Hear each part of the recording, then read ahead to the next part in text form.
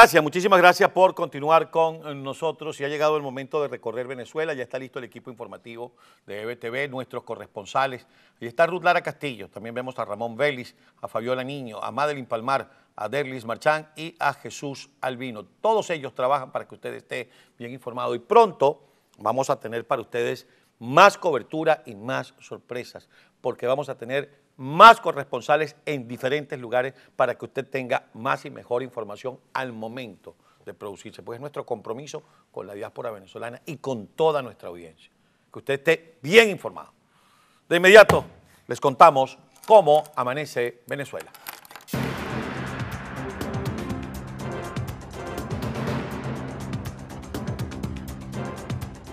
Bien, vamos a iniciar este recorrido en Caracas, como siempre lo hacemos. Y ya está lista Derlis eh, Marchán Pérez. Ella nos reporta la agenda de este martes. Buen día, Derlis. Adelante.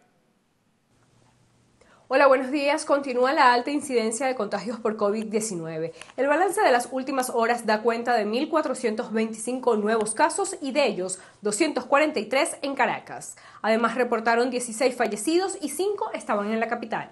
El gremio médico informó la muerte del presidente de la Federación Farmacéutica Venezolana, Freddy Ceballos, quien además se destacó por exigir de manera constante la dotación para los hospitales y en este último año la protección para el personal sanitario. Ayer también el presidente encargado Juan Guaidó confirmó su recuperación tras dar negativo a las pruebas del coronavirus. Para este martes está prevista una sesión de la Comisión Delegada de la Asamblea Nacional y uno de los puntos a tratar es la protección y asistencia a los ciudadanos a propósito de la pandemia. Continúen ustedes con más en el estudio. Gracias, Derlis. Nos vamos directo al Zulia. En Maracaibo está Madeline Palmar y hacemos contacto con ella de inmediato. Muy buenos días, adelante. Hola Carlos, muy buenos días. Continúan creciendo los casos positivos de coronavirus aquí en el estado Zulia y ante esta situación, empresarios y comerciantes se unen al llamado que hace la directiva de Fede Cámaras de permitir que este gremio pueda iniciar una jornada de vacunación.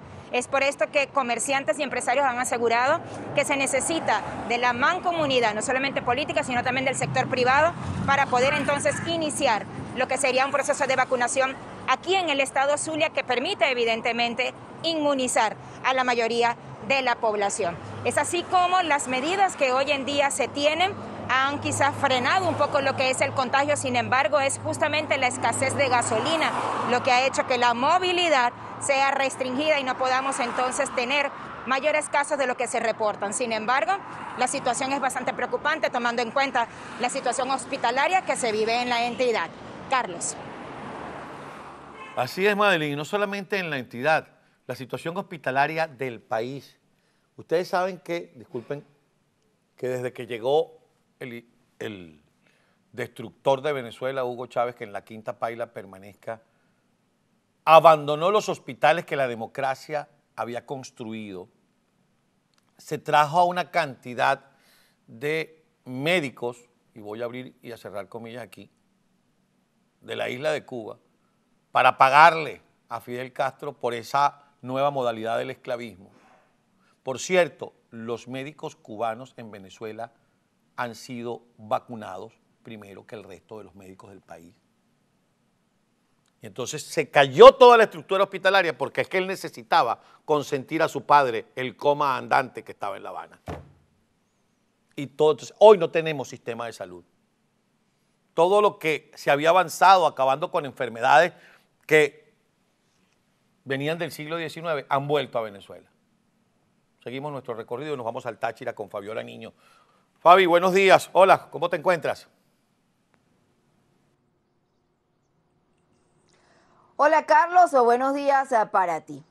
Ayer informamos eh, la manifestación que eh, hicieron los transportistas legales que van hacia la frontera, específicamente a los municipios Bolívar y Pedro María Ureña.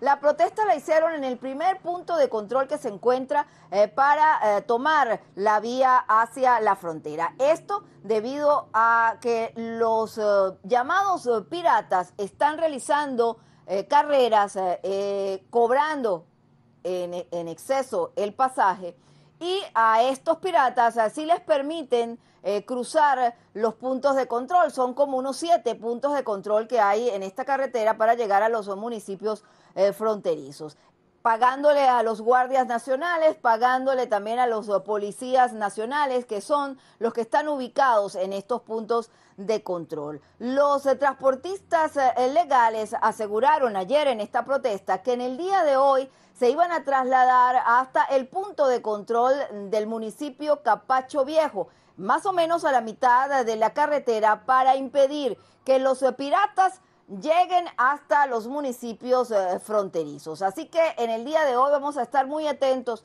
a esta convocatoria que hicieron los representantes eh, sindicales de los transportistas a todos eh, sus agremiados para que estén en Capacho Viejo y allí manifestar e impedir que los piratas lleguen hasta la frontera con Colombia. Ya que tienen, ya van a cumplir más de un mes sin poder trabajar. Esta es la información que tenemos a esta hora, Carlos. Con ella regresamos contigo a los estudios en Miami.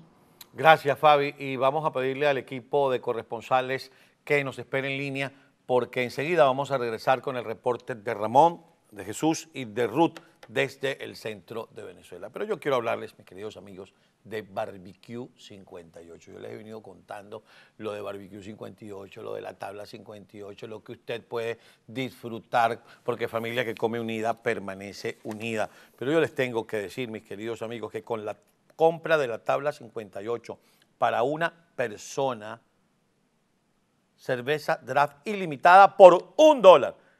Y esta es una promoción válida por persona. ¿Y cuándo? Eso es el miércoles 7 de abril, es decir, mañana. Tabla 58 para una persona tiene 4 onzas de picaña, tiene pollo, tiene chorizo, tiene morcilla, tiene una cachapa con queso de mano, una yuca sancochada y una ensaladita. ¿Ah? Y por cada persona, entonces usted paga un dólar adicional y toda la cerveza draft. ¿Por qué?